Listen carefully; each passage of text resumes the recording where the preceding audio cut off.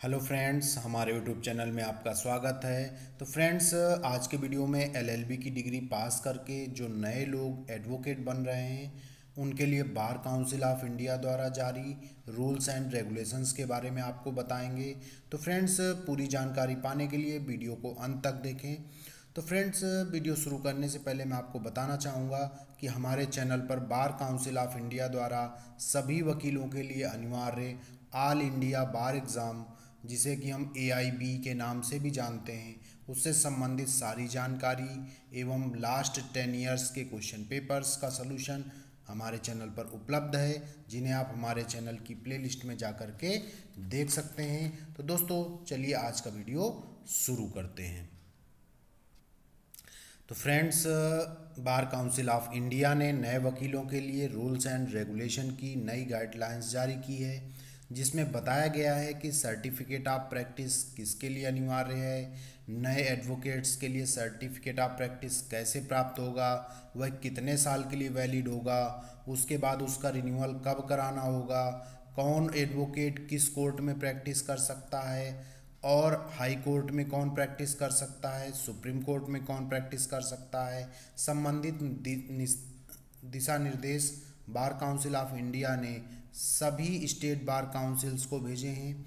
इन्हें विस्तार पूर्वक जानने के लिए आप हमारे इस वीडियो के डिस्क्रिप्शन बॉक्स में जाकर इस नोटिफिकेशन को पीडीएफ के रूप में डाउनलोड कर सकते हैं। यह हिंदी और इंग्लिश दो भाषाओं में दिया गया है।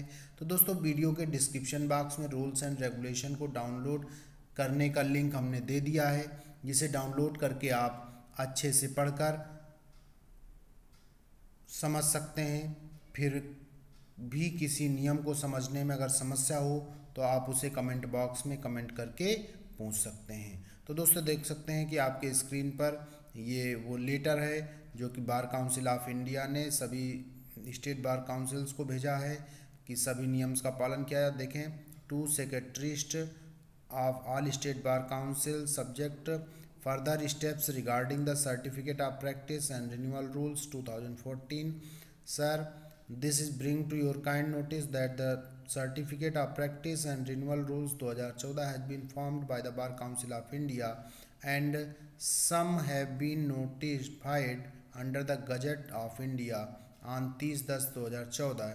Copy of rules has already been sent to all the state bar councils. You are requested to take further steps respecting the uh, aforesaid rules in the bar council so that appropriate action can be taken and elections if due are not delayed तो देखिए आपको जो है ये अशोक के Pandey joint secretary के द्वारा ये लेटर भेजा गया था और ये देखें जो भारत का राजपत्र है उसमें जो जारी किया गया है नोटिफिकेशन उसकी पूरी इन्फॉर्मेशन है।